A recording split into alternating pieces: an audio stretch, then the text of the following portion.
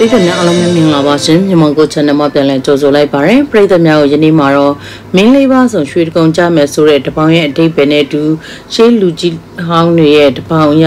ရွှေတကုံတိုက်စာအကြောင်းကိုတင်ဆက်ပေးသွားမှာဖြစ်ပါတယ်ဒီအကြောင်းအရာတွေကိုမတင်ဆက်ခင်မှာတော့နေ့စဉ်နေ့တိုင်းပြည်တွင်းပြည်ပသူတရတာဆုံလင်းတို့နဲ့အတူဖြစ်မှန်တဲ့ထိရှင်ဖို့ကိုရိစက်ကြောင်းတွေကိုစင်ဆက်မပြတ်စူးစီးတင်ဆက်ပေးနေတဲ့ကျမတို့ရဲ့မြန်မာကို channel လေးကိုညချီမပြတ်စောင့်ကြည့်ခြင်းနဲ့ဆိုရင် subscribe ရတဲ့အနည်းအောင်စာရန်လေးကိုနှိပ်ပြီးအားပေးထားဖို့လိုပါတယ်ရှင်ပရိသတ်များရှင်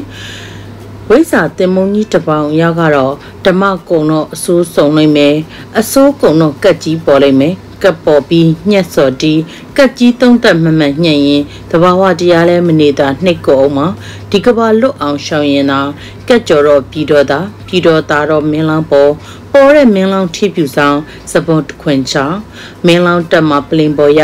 ကုံနဲ့တမပြပြဝတာရလိမ့်မယ်ပြူဝိဇာများလဲမနေတာမကြလိမ့်မည်တောင်ထိုကိမိတာဘဲတော့ကကောစာ1430မှာ တက်မဲ့မင်းလောင်းလွန်စော်ကောင်းတောက်မဲ့ဖုံးမီလွန်စော်ကြီးဥစ္စာတနာပေါ်ကျွဝလွန်စော်ချမ်းသာပြည်မြမှာသာသနာရောင်ဝါထွန်းမှာဒီကဘာမြေစီမှာတရားတပါမင်းအများကိုးကွယ်မှကထေရဝါဒအမိသွားဟဲ့ဒီကီရာဆလောင်မီဖုံးတော်ကြီးအဘဘိုးတော်အောင်မင်းအောင်ရဲ့တပေါင်မဲဖြစ်ပါတယ်ရှင်ဆက်လက်ပြီးရှေးလူကြီးသူမတွေရဲ့တပေါင်ရရွှေတကုံတိုက်စာအကြောင်းကိုတင်ဆက်ရမယ်ဆိုရင်တော့စစ်မဝမ်းကောင်းဘိုးချီအောင်အောင်တော့ပူချီညညက်ကြီးရဲ့ကိုတာကိုထိုတယိုးကြည်တာကြံအံတ ရုတ်ကဖိရှမ်းကဤရှိသည့်ဗမာမလွန်တာသည်ပြည်ဝအရေးပေါက်နေကြီးတိမ်တောင်တပွဲမီးရေးကျွဲအံရန်ကုန်မှရှင်တွေအောင်အံမန္တလေးမှပြပုံအံတထုံမှအယိုးပုံအံငကားကိုကလုံးချီလိမ့်မည်တောင်းတောက်တန်ကြောင်လင်းယုံတောက်မှန်ခလိမ့်မည်ဖះကိုလက်နှက်ကင်လို့စောင့်မည်တရားကိုနှက်ဆောင်မည်တန်ခါကိုမင်းအာနာဆက်ဆောင်မည်ပြည်ဝကိုဘလူးဆောင်မည်လူယုံချင်းပြန်ပြီးတက်လိမ့်မည်ကဘေးကြောင့်ရက်တကာဘေးတင်မည်သွေးချောင်းစီးပြီးမှငိမ့်ချမ်းလိမ့်မည်အယူတော်မင်္ဂလာဗမိုင်ပြောသောရှုတကုံတိုက်စာတပေါင်းကိုမျှဝေလိုက်ပါရရှင်ဒီအကြောင်းအရာတွေကတော့ဘသူကိုမှမရွယ်ပါဘူးဘူးတုဒဖြစ်နေစောင်းရန်ရှောင်းရန်ဖြစ်တာ ဖော်ပြရခြင်းဖြစ်ပါတယ်ရှင်ထို့တူပါပဲမင်းလေးပါဆောင်ရွှေကုံကြမယ်ဆိုတဲ့တပေါင်းရဲ့အတိတ်ဘက်ကိုတင်ဆက်ရမယ်ဆိုရင်စွန်းလွန်းဆရာတော်ဒီရန်နာဟုကြောကြားသလိုဝင်းကြီးချုပ်ဟောင်းဦးနုရဲ့ကိုးကွယ်ကြီးညိုသောဆရာတော်တစ်ပါးလည်းဖြစ်ပါတယ်ရန်နာဟုသောပုဂ္ဂိုလ်တို့သည်ရှေးဖြစ်လာမိအရာတွေကိုသိမြင်နိုင်စွမ်းရှိသလိုပညာဉာဏ်တကူများလည်းပြည့်စုံပါ၏ဟုတ်တိုင်းမှန်ရသာလင်မိန်နေ၏1948မှ1962ထိဝင်းကြီးချုပ်ဖြစ်ခဲ့သောဦးနုသည်ထိုအချိန်ကကြောကြားနေသောမင်းလေးပါဆောင်ရွှေတကုံကိန်းကြမီတပောင်အားဆရာတော်ထံမေးလျှောက်ပါသည်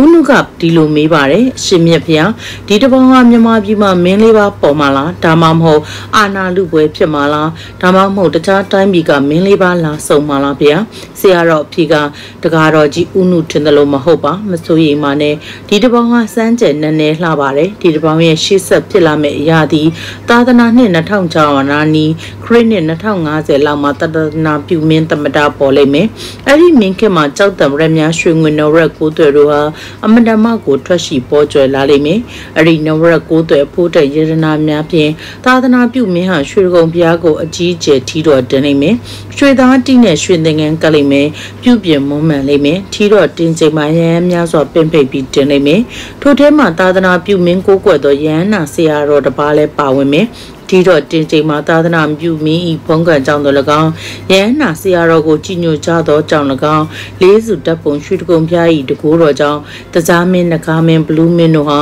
ရွှေတကုံဖျားထက်ကောင်းဝင်ကနေလူမမြင်အပ်စေပဲလာရပူးမြော်ကြမယ်လူမင်းဖုံးကြီးတော်နတ်မင်းမနေတာရွှေတကုံရင်မြင်၌မြေပြင်မှသာသာသနာပြုမင်းနဲ့ရဟန်းရှင်လူတို့ပြည့်နှက်နေလိမ့်မယ်ဝိဇာပုဂ္ဂိုလ်များလည်းအစုံညီကြွလာကြမယ်အဲ့ဒီနေ့ဟာမကြုံစဘူးထူးခဲ့တဲ့နေထူးနေမြတ်ဖြစ်တဲ့ရွှေတကုံဖျားမှာတကြားမင်းနဂါမင်းဘလူးမင်း ဖုံးကန်ကြီးတဲ့သာသနာပြုမင်းမင်းလေးပါဆုံနေမယ်။အဲ့ဒီနေ့မှာပူပြင်းလာတဲ့ရန်ကုန်မြို့တော်မပူပဲနေသားလိမ့်မယ်။ထီတော်တင်ပြီးတော့ခါစေတီတော်ကနေရောင်ကြီးတော်ကိုမြူလိမ့်မယ်။ထီတော်တင်ပြီးတဲ့နောက်နေ့မှာခုနှစ်ရက်ဆက်တိုက်မိုးကြီးရွာလိမ့်မယ်။ထီတော်တင်ပြီးတစ်ပတ်အကြာမှာစင်ပြတော်ခုနှစ်စီးထွက်ပေါ်လာမယ်။သာသနာတော်ကြီးရန်ကိုထွန်းကားလိမ့်မယ်။ကဘာအရရက်ကလူတွေတရားလာလေ့လာကြလိမ့်မယ်။အားထုတ်ကြလိမ့်မယ်။သာသနာပြုမင်းရဲ့ကြီးမားတဲ့ဖုံးကန်ကြီးမားတဲ့ဉာဏ်အမျှော်မြင်ထက်မြက်သောအရေးချင်းတို့ကြောင့်မြန်မာပြည်ကြီးရန်တိုးတက်ချမ်းသာလိမ့်မယ်ကမ္ဘာမှာသာသနာပြန့်ပွားပြီးမြန်မာပြည်ဟာသာသနာထီဆောင်တဲ့နိုင်ငံဖြစ်လိမ့်မယ်လို့ဝင်းကြီးချုပ်ဦးနုကိုဆရာတော်ကြီးကမိန့်ကြားဖြေကြားခဲ့ပါတယ်ရှင်ဒီဆရာတော်ကြီးကလို့ရဟန်းနာလို့သမုတ်နေကြတဲ့ဆွန်လွန်ဆရာတော်ကြီးဖြစ်တဲ့အတွက်မြန်မာပြည်ရဲ့လာမယ့်နောင်ရေးဟာရှင်အေးဆရာတွေပဲမဟုတ်ပါလားရှင် ပရိသတ်များရှင်ယနေ့တင်ဆက်ပေးခဲ့တဲ့အကြောင်းအရာကိုပြီးဆုံးသည့်ဒီအချိန်ပေးပြီးနားဆင်ကြည့်ရှုပေးခဲ့ကြတဲ့ပရိသတ်ဒူးချင်းစီတိုင်းကိုလည်းကျေးဇူးများကြီးတင်ပါတယ်လို့ပြောရင်းနှုတ်ဆက်လိုက်ပါစေလားရှင်ပရိသတ်များအားလုံးပဲတာပျော်ရွှင်ပွဲကောင်းတဲ့ဘဝရဲ့နေ့တစ်တွေကိုပိုင်ဆိုင်နိုင်ကြပါစေရှင်